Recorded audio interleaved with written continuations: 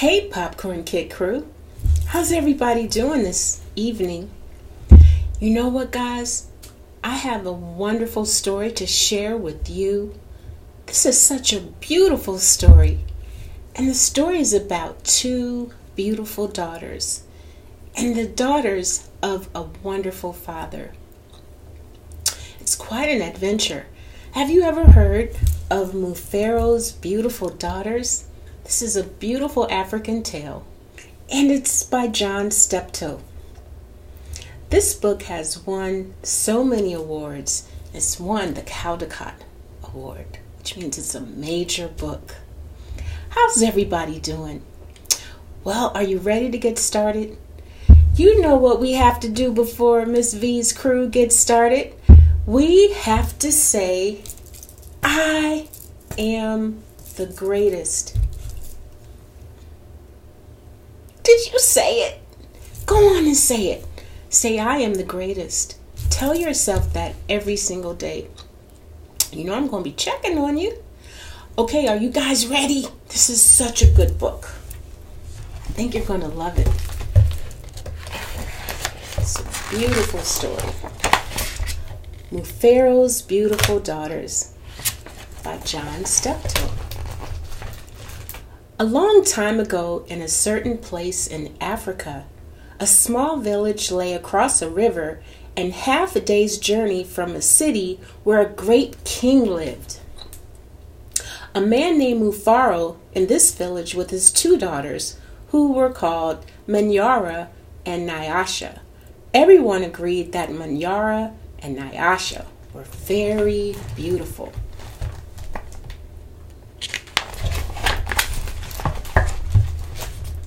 Manyara was almost in a bad temper. She teased her sister whenever their father's back was turned.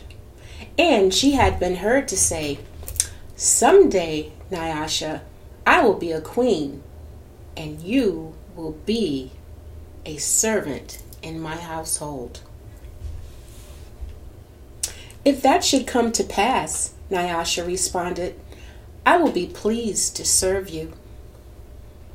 But why do you say such things? You are clever and strong and beautiful. Why are you so unhappy? Because everyone talks about how kind you are, and they praise everything you do, Manyara replied. I am certain that Father loves you best.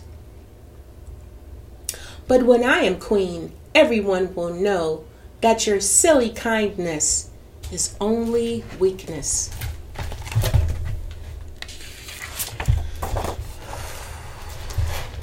Nyasha was sad that Manyara felt this way, but she ignored her sister's words and went about her chores. Nyasha kept a small plot of land on which she grew millet, sunflower seeds, and yams and vegetables. She always sang as she worked, and some said it was her singing that made her crops grow more bountiful than anyone else. Look at these beautiful illustrations.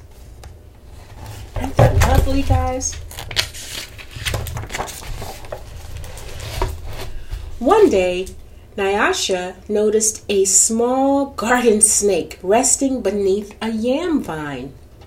Good day, little Nyoka, she called him. You are welcomed here. You will keep away any creatures who might spoil my vegetables. She bent forward and gave the little snake a loving pat on the head, and then returned to her work. From that day on, Nyoka was always at Nyasha's side when she tended to her garden. It was said that she sang all the more sweetly when he was there. Garden snake right there. She's very gentle with him, isn't she? Mufaro knew nothing of how Manyara treated Nyasha. Nyasha was too considerate of her father's feelings to complain. And Manyara was always careful to behave herself when Mufaro was around. Early one morning, a messenger from the city arrived. The great king wanted a wife. The most worthy and beautiful daughters in the land are invited to appear before the king, and he will choose one to become queen. The messenger proclaimed. Mufaro called Manyara and Nyasha to him. It would be a great honor to have one of you chosen, he said. Prepare yourselves to journey to the city. I will call all of our friends to make a wedding party. We leave tomorrow as the sun rises. Wow. But, Father, Manyara said sweetly, it would be painful for either of us to leave you. Even to be a wife to the king. I know Nyasha would grieve to death if she were to be parted from you. I am strong. Send me to the city, and let poor Nyasha be happy here with you. Mufaro beamed with pride. The king has asked for the most worthy and the most beautiful. No, Manyara, I cannot send you alone.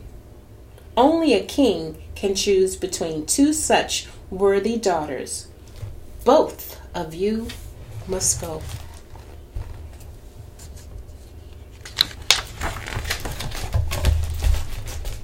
That night, when everyone was asleep, Manyara stole quietly out of the village. She had never been in the forest at night before, and she was frightened. But her greed to be the first to appear before the king drove her on.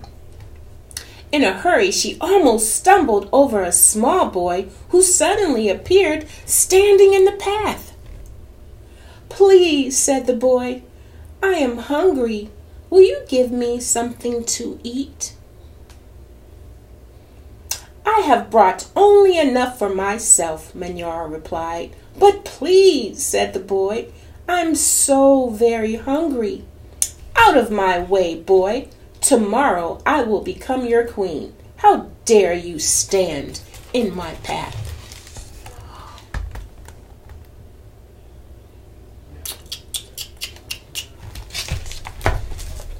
Hmm. I don't know, guys.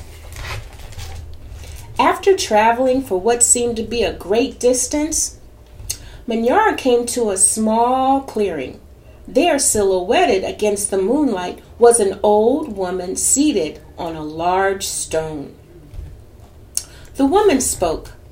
I will give you some advice, Manyara. Soon after you pass the place where the two paths cross, you will see a grove of trees. They will laugh at you. You must not laugh in return. Later, you will meet a man with his head under his arm. You must be polite to him. How dare you know my name? And how dare you advise your future queen? Stand aside, you ugly old woman. Manyara scolded and then rushed on her way without looking back. Have you guys heard this story before? Are you enjoying it? Come on, let's continue. Let's see what's going to happen.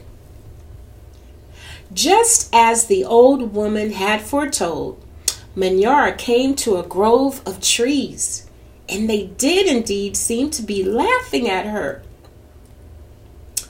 I must be calm, Manyara thought.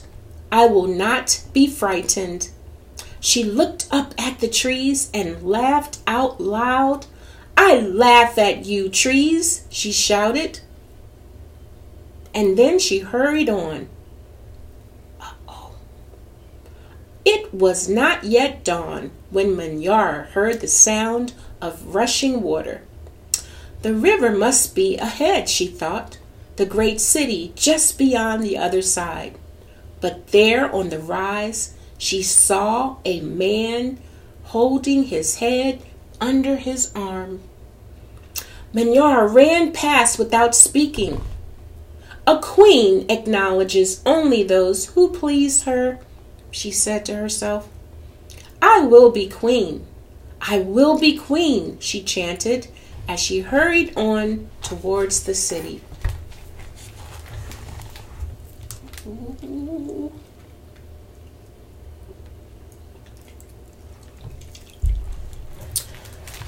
Yara is forgetting what she was told to do. Let's see what happens. Nyasha woke at the first light of dawn. As she put on her finest garments, she thought how her life might be changed forever beyond this day.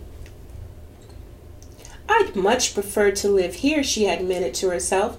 I'd hate to leave this village and never see my father or sing to little Nyoka again. Her thoughts were interrupted by a loud shout and a commotion from a wedding party assembled outside. Manyara was missing. Everyone hustled about and searching and calling for her. When they found her footprints on the path, they led to the city and they decided to go on as planned. As the wedding party moved through the forest, brightly plumed birds darted about in the cool green shadows beneath the trees. Though anxious about her sister, Nyasha was soon filled with excitement about all there was to see. There, deep in the forest, when she saw the small boy standing by the side of the path, You must be hungry, she said, and handed him a yam she had brought for her lunch. The boy smiled and disappeared as quietly as he had come. Later, as they were approaching the place where the two paths crossed, the old woman appeared and silently pointed to the way to the city. Nyasha thanked her and gave her a small pouch filled with sunflower seeds. The sun was high in the sky when the party came to the grove of towering trees. Their uppermost branches seemed to bow down to Nyasha as she passed beneath them. At last, someone announced that they were near their destination. The illustrations are wonderful. This book. Do you agree? They're wonderful. Nyasha ran ahead and topped to the rise before the others could catch up with her. She stood transfixed at her first sight of the city. Oh, my father, she called. A great spirit must stand guard here. Just look at what lies before us. I never in all my life dreamed there could be anything more beautiful. You see the city? They're slowly approaching the city. Arm in arm, Nyasha and her father descended the hill, crossed the river, and approached the city gate. Just as they entered through the great doors, the air was rent by piercing cries, and Manyara wildly ran out of a chamber at the center of the enclosure. When she saw Nyasha, she fell upon her sobbing. Do not go to the king, my sister.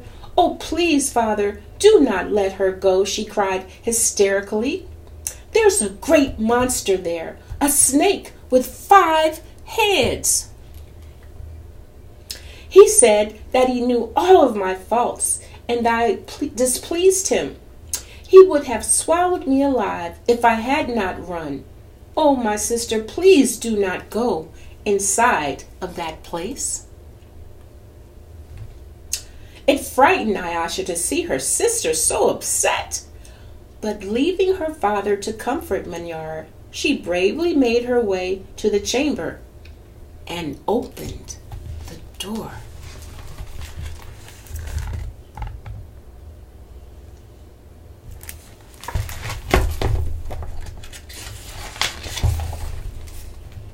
On the seat of the great chief's stood stool lay the little garden snake.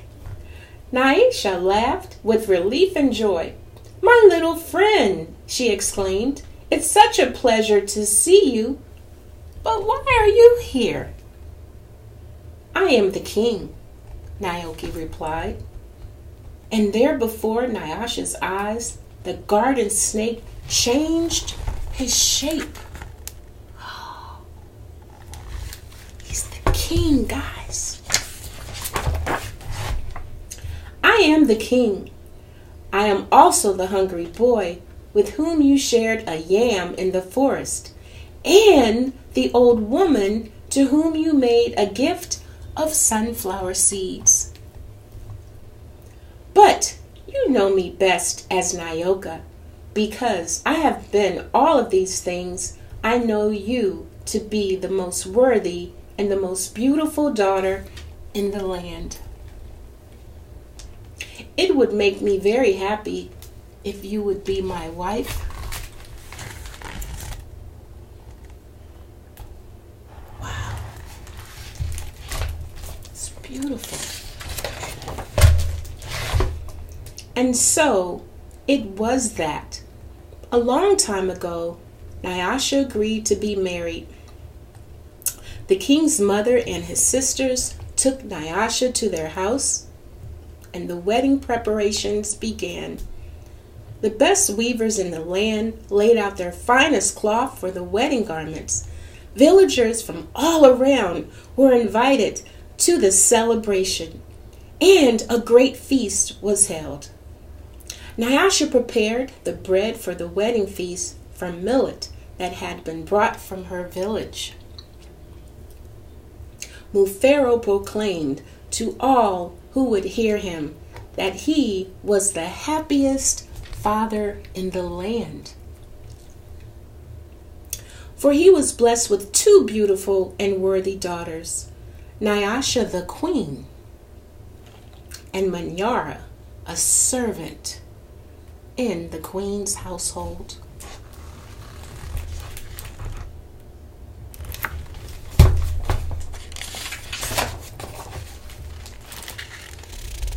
The end.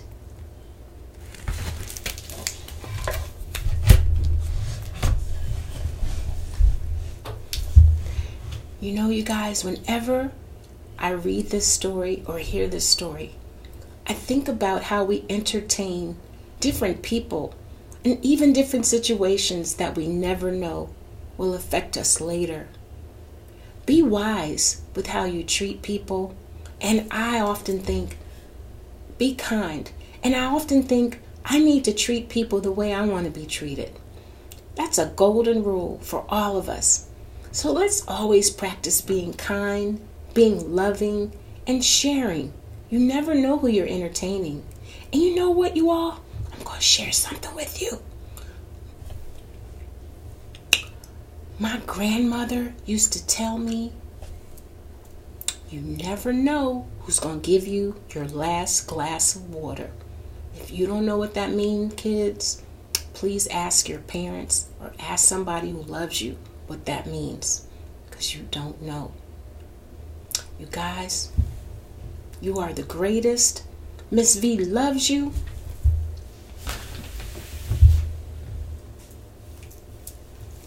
I send you peace.